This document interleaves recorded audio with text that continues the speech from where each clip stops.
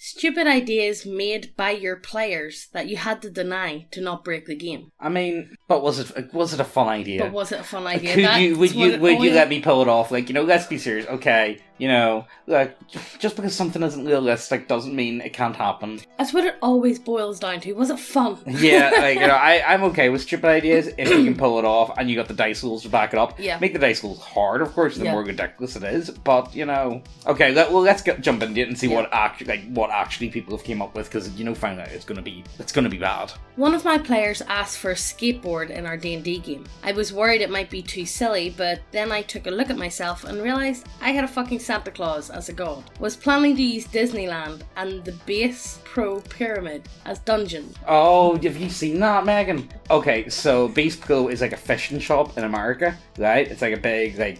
Oh yes, the, And- and, it's in a pyramid. Yeah, I've no, picture. yeah, and it used to be like a stadium or something, Yes. but then they bought it over. Yes. It's in like Mississippi or somewhere like that. I, I remember I watched a video on it. I was like, how have I never heard about this? But I only heard about it like last year. and was planning to make manipulation of the not baseball league a major plot point. So I realized it was totally okay. like, you know, exactly. This is completely up to taste. Like, your DM has a wacky world. How wacky are you? Are you kind of wacky? Are you on the spectrum like me? You know, if people want to have it wacky, let them have it. The only thing with skateboards is, like, okay, I don't skate, but I know a few people that do. Do skateboards work before, like, concrete and tarmac exists? Like, does it work on cobblestone streets? no. I I wouldn't. remember seeing a guy going down cobblestone streets. You know the one on Belfast? yeah, Round where the pubs and all are? yeah, yeah, yeah. Going down there and then he went arse over tit. I believe that. I just don't see it working. But it's so uneven, you just hit a boom. yeah. Okay, so I'm a wizard with a spell book and all of that. But what if instead of that, I have a microchip and every spell is actually a technology based device that only I can control? It's only fluff, of course. No, sorry, you can't know what spell I am casting because I'm literally a jetpack. You Me- don't know what that is. Nano machine, nano machine, son.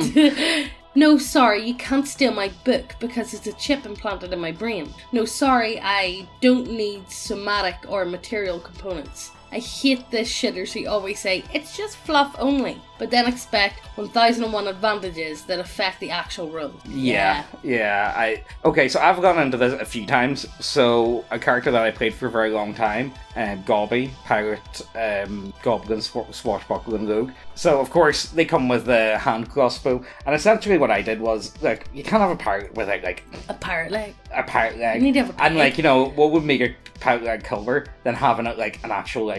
You know, like a matchbox or something. Yeah. That would be cool. Yeah. Now, of course, a lot of DMs are just not going to have that. Mm-hmm. So I just said to them, like, is it okay if I could at least skin it? And then if you want, you can add in noise effect. It's mm. up to you if you want to do that. Like. Yeah. you know, so I'm actually like putting it in and also giving myself a negative negatifier Yeah. at the same Yeah. time. And most But it's people still are, cool. yeah, exactly. It means I get what I want, and you know, it, I don't mind taking a wee bit of a neg- negative if it means I get something cool. Yeah. You know what I mean? You can't. You, like it's a give and take relationship. Yeah. If your deck, if your if your if your DM needs needs a wee blowy, you know, you, you do what you gotta do, man. Okay. Player climbed a building, leapt off the building and onto the enemy, and wanted to pin him to the ground with his weight, all in one round. Said enemy was moving through a crowd in the dark, so the player's action was used to spot him. Player, I don't know if that's an action.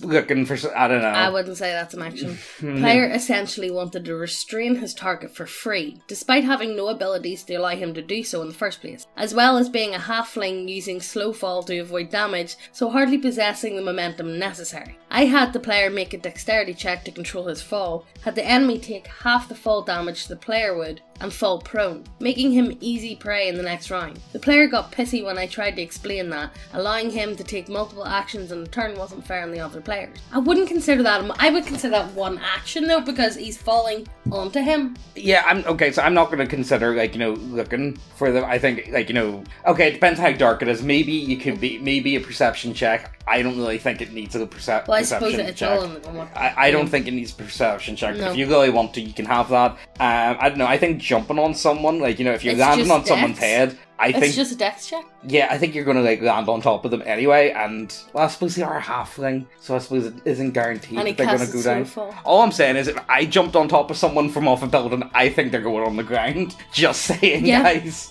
Like, I don't think for me. I, maybe you could argue the grappling, but they're get, definitely getting knocked on the Yeah. hole. Maybe the grappling. Okay, you know what? Yeah, grappling two turns, fine. It's tough to reward creative thinking whilst not breaking the game. I had another player choose to hammer silver pieces into a wooden club because he didn't want to out for a silvered weapon. The party was expecting to fight a werewolf. I had to homebrew a means of simulating coin attrition through being bent out of shape during construction and snapped slash lost when using the club, just so it wasn't unfair to those who did silver the weapon. Yeah, that is, yeah. I find th- that's yeah, that's a hard one. That- because if someone did fork out the money and they did go ahead and do it, you know, and then you give You the other person like a cheap option, then it's like, well, why didn't we not do that as well? Almost, it's kind of, Yeah. yeah. yeah, no, actually, I get that. Yeah, that's a Yeah, that's a hard one it. to work. That's a really hard one to work. I had a player in a 3.5 D&D game who wanted to do some weird anime thing where his first level character would be able to absorb monsters and add their special abilities to his own while increasing the size until he reached gargantuan. Where where is the size? Where are we talking? Are we ta- Peter Kay in Oh yes, Peter. Doctor Who. Yeah, yeah, yeah, yeah, yeah. And he didn't want to hear anything about game balance. He had already come up with a balancing mechanism where his character would randomly explode and deal on average 12d4 damage to everyone in a 200 radius except himself. That's a bit. Y- y- Look, if you're going to explode, you're hurting yourself, man. Yeah. Okay. He would just lose size and mass. Bullshit. When I pointed to him, when I pointed out to him that this would kill the entire party several times over, it was clear he hadn't even considered the other player. Is he wanting to be a Akira? Me with that hammer. yeah, that's You with that hammer. Yeah. yeah, yeah. If any of you guys don't remember, we've told the story a few times. Megan got, I can't remember the name of the hammer, but it was like, a, it was, it's, essentially it works as Thor's hammer. Yeah, basically. Essentially. And it knocks everyone flat we on the hole. stuck in It was a tiny little hallway. We were hallway. stuck in and- hallway and um what was it mimics no No, it was. No, um, it- it- oh, they were like maggot monster Yeah. creatures, like wearing hoods and stuff. I can't but there was like two little ones and a big one Yeah, there was. and we all had low health anyway and I was like you know what well, we. bang on the ground I mean, it did work. Like you know. AoE well, knocked what we- everybody prone The thing was, what we were really relying on was the conceives, and what we really wanted was to knock the monsters out, and hopefully, and we just hoped for the best with meet our conceive. yeah Didn't really work out very well. no Didn't work out very well at all in the slightest, if I be honest with you guys.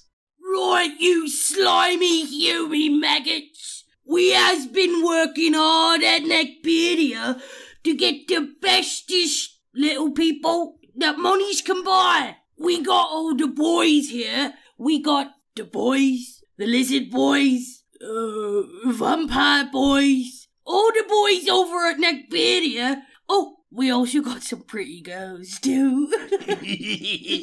but I can't really make out which one's are boys and which one's are girls sometimes. but oh, anyway, I need more monies to get more daggers, so get on over and order some now, you filthy pigs. every video that we post we're going to be giving away all of our homebrew content to one lucky winner every video all you have to do to be in with a chance to win is to be subscribed, leave a comment, and like this video. And today's lucky winner is this guy.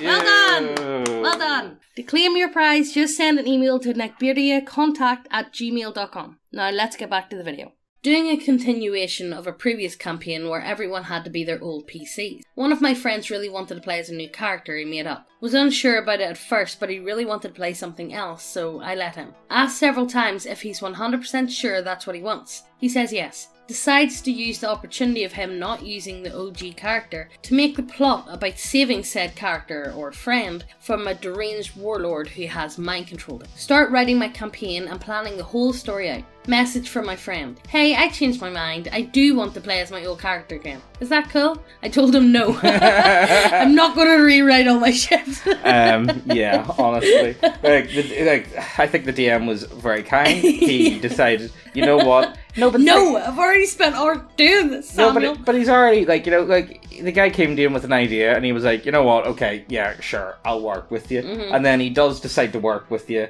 And he's like, you know what? Actually, I'll go try and incorporate this as much as I can. And then you're like, hmm. you know, what do Yeah. you do? Like, you know, it's not I know. easy. Stupidity can be fun. You just can't make it easy. Players get a sturdy dwarven wagon as an early quest reward. Ranger gets the bright idea to reinforce the side so that he can use it as a proper cover. Oh, for God's sake.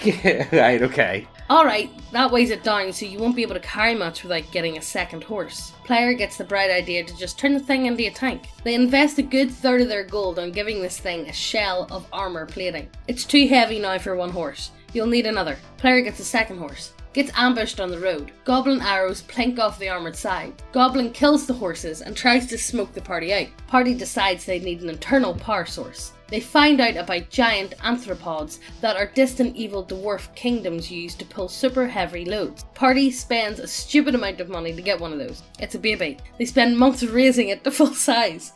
Party hollows out the middle of their cart so that the anthropod can pull it from within. Barely room inside for the party. Guns are very primitive in this setting, but the party spends what little money they have left on buying a modest cannon. The first time they fire it, it fills the cabin with smoke and makes our anthropod panic. Oh, no. They mount the cannon on top and use Mage Hand to fire and reload. Bearing some minor changes, the tank is complete. Soon the campaign changes from murder hobos to tank mercs. Nobles and merchants alike seek to hire the services of, hev- of fiery, armoured death wagon. Eventually the campaign comes towards its close. The big bad moves his evil ritual location out of his hideout to the top of a fucking mountain, just so that the party can't bring their tank. They spent every ounce of gold that they made with said tank to hire a dragon to fly, fly them to the top of the mountain, just so that they could use their shitty cannon to shoot the big bad in the face. Tank campaign was unironically one of the best campaigns I ran. There you go. Look, see, that's what you need. Like, that's fun. Exactly. I look. I'm down for that. Honestly, that sounds Make like, a wagon a tank. yeah. I mean, look, it's possible. You know, that's. A, I'll I'll give you. No, actually, I'll save it to the end. Unexpected tank is always the best tank. Yeah. I want to play a librarian. Sounds cool, like an Indiana Jones type or a Space Marine librarian. Can I use homebrew? What do you mean my character's too powerful? Just make everyone else more powerful to compensate. this game has bionic arms. That means I can give myself as many arms as I want, right? and the most stupid idea of all, can we play 5th edition?